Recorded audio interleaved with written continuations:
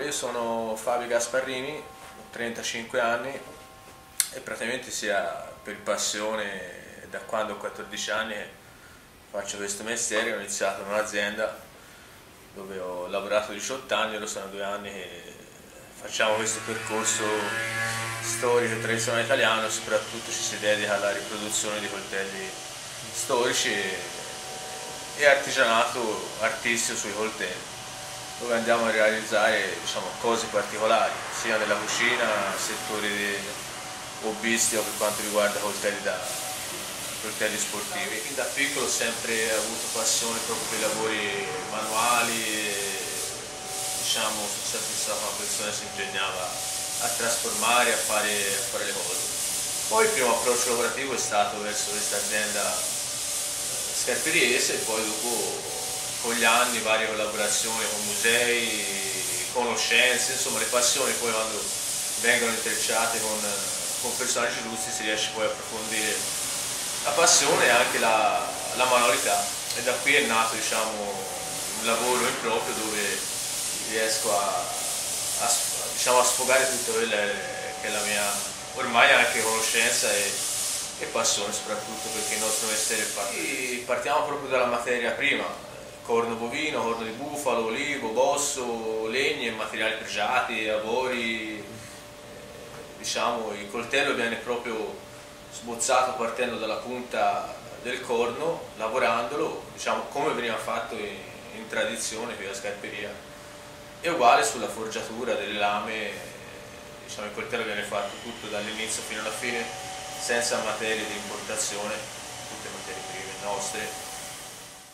Diciamo, questo è un barocco, questo è un, è un coltello, un forgia antica, un coltello sardo, un maremmano, un gobbo, cioè questa è la zuava nostra di Scarpia, coltello tipico che ormai è quasi un secolo viene prodotto qui, pattata, bisaquino, un coltello siciliano, diciamo, ogni regione d'Italia ha un suo coltello di, di appartenenza storica e tradizionale che veniva costruiti solitamente a cavallo tra metà 800 e 900. Noi prendiamo i, i modelli che vengono poi appoggiati sul corno fino a trovare la dimensione giusta per creare poi il manico e poi il corno viene, viene squadrato, diciamo, sbozzato alla sega a creare il primo, il primo blocchetto per poi dopo andare a lavorare alle scartatrici e alle mole.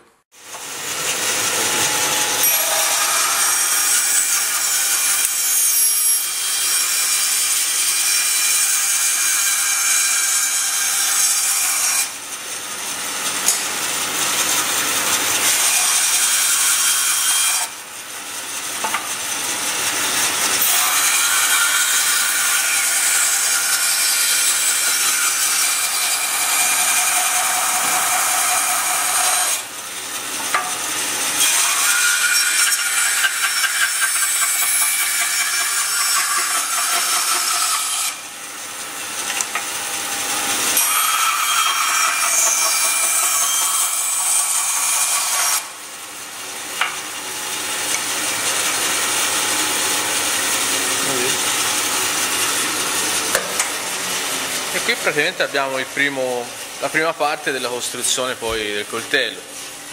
Una volta sagomato il corno si appoggia sopra il modello del coltello e si, e si segna.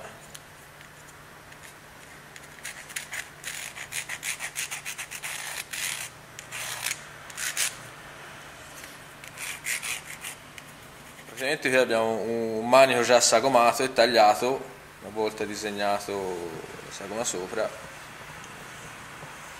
viene, fatto, viene ricavato questa scavatura nel mezzo dove poi viene inserito la molla e la lama del coltello il passaggio della creazione della lama dove abbiamo il modello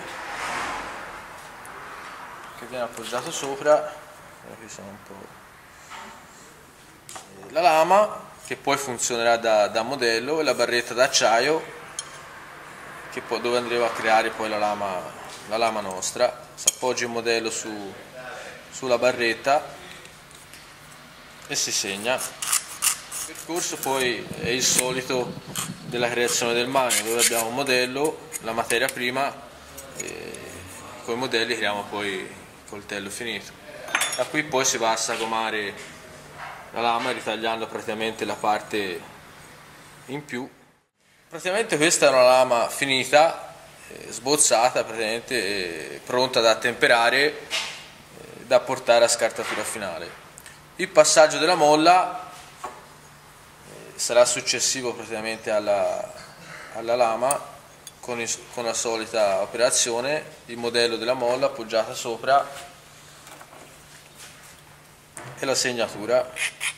Questa è la molla già scontornata, pronta diciamo in montaggio. Ora si va a fare l'operazione della sagomatura di manico dove poi inseriremo la lama e la molla.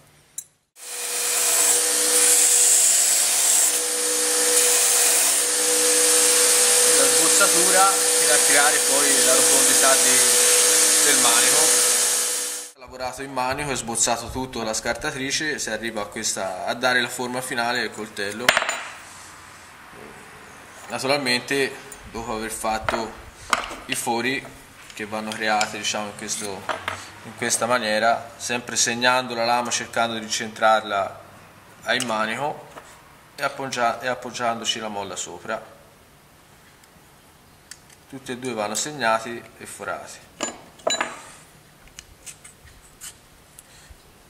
Una volta forati si procede al montaggio del coltello dove la molla andrà a appoggiare praticamente nel tallone in fondo del manico creando proprio una caricatura perché praticamente la molla appoggia in fondo. Inserendo la lama andrà a tirare sulla molla e si crea proprio una, una flessione.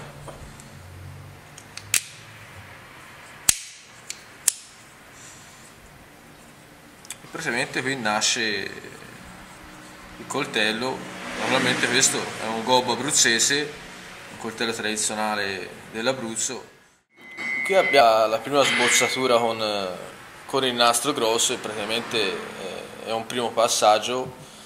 E poi andremo a fare la finitura finale con un nastro fine che poi ci permetterà di andare alle spazzole e lucidare il corno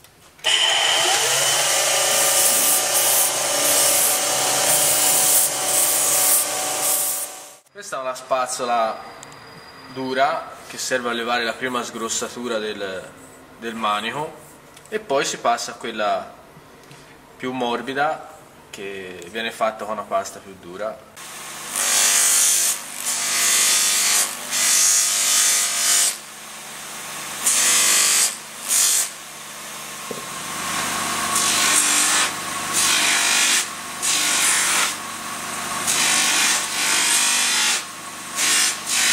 praticamente il corno finito e lucidato e di qua si vede il corno grezzo. Diciamo questo è naturalmente la, la natura del corno fa sì che ogni pezzo sia, sia unico